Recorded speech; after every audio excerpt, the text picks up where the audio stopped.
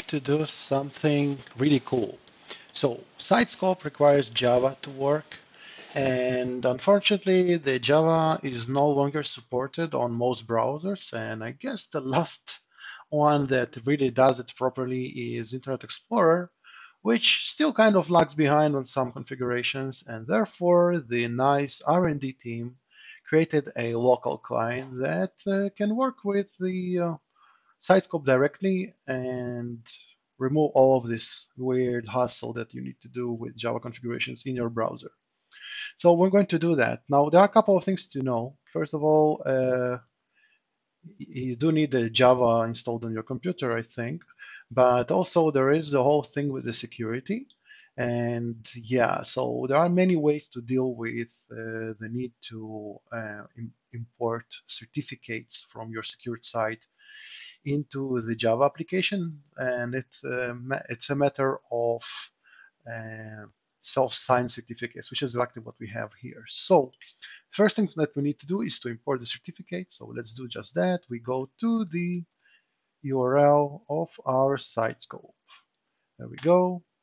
It will prompt us to accept the certificate in case it's uh, just the first time. We will see kind of a prompt that says we'll continue, but it, it, they say it puts your computer at risk. No, it doesn't.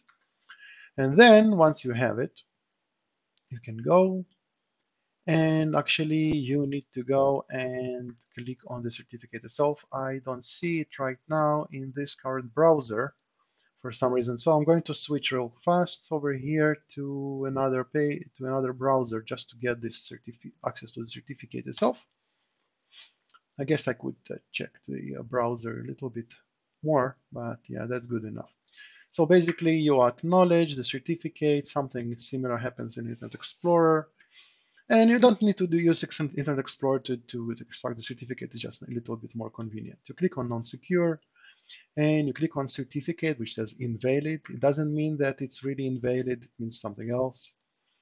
Okay, and uh, certification path, details, let's see.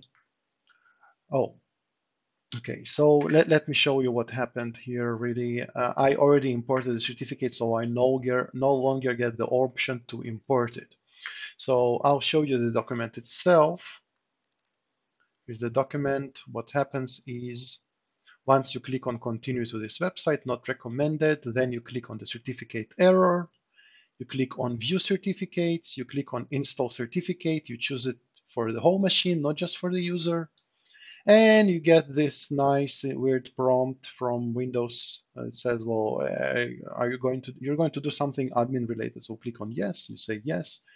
Place all certificates in the following store, you browse, you choose the trusted root certification authorities. And then you click next and finish and you get this nice confirmation the import was successful. So I already done this part and therefore I don't get the certificate notification in the Internet Explorer because, well, what's the point? Second part is to get the actual local client. And there I have it here in the uh, in my local clients folder. So I'm going to extract it to okay, and I'm actually uh, documenting while I'm uh, testing it out. So just going to click away over here and I'm going to say, take this, take this, and then extract to.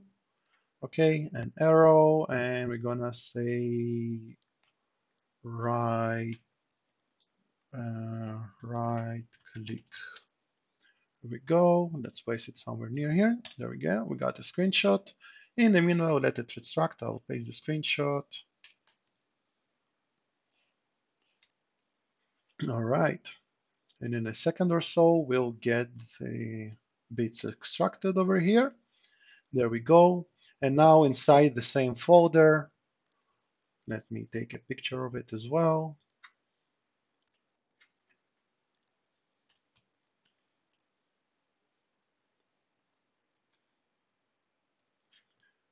We go inside and we do exactly the same thing And but we're gonna say extract here.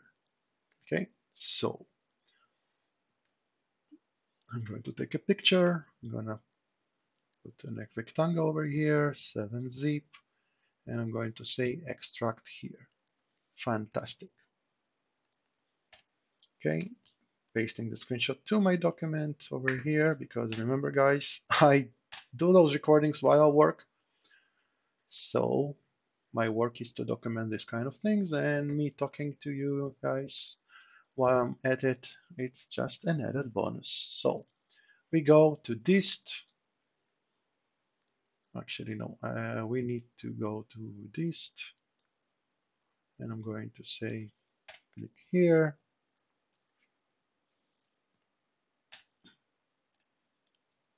All right.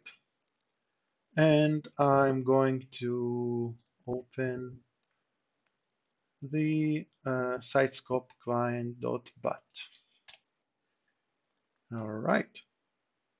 Let's double click it. And there we have a little bit of a CMD window. And it will take it a couple of seconds to load. This is not a fast VM. We're conserving the resources over there. All right. So now we need to type our uh, SiteScope uh, URL over here. So it's going to be https colon slash slash sitescope.itom.com slash capital site. Okay, this needs to be accurate and you just hit enter. And if the certificate import worked, you'll see the login page. And in case it didn't, well, then you'll need to re-import your certificate to a proper folder. This is the most common mistake. All right, so there we have it. So let's log in and see what happens. Okay, let's take a picture of it like this. And then I'll take a picture of this as well. Okay, rectangle, there we go. And we hit that login button. And if everything worked correctly, we should see that the SiteScope works. So let's give it a second to load. As you see, there is this 100% in the right corner. It's still kind of counting. So I'm counting on it to load any second now. And if it didn't, I'll probably need to go back and retrace my step. This is more convenient, let's put it this way, on personal computers. So if you can connect your client from your own PC, that's going to be much faster and easier for you to do from your own computer. And seems that I need to fix something on my computer, but basically the process doesn't change. It's just something that I need to do on my computer. Okay, and the problem was solved by going to Internet Options, Trusted Sites, and adding just a wildcard for the whole domain for the HTTPS, and it mean and it, it inherited the whole setting for Java clients as well. So I needed to stop and start my Java client after I added the security exception, and there it works. Okay, it worked for a second. Now it doesn't.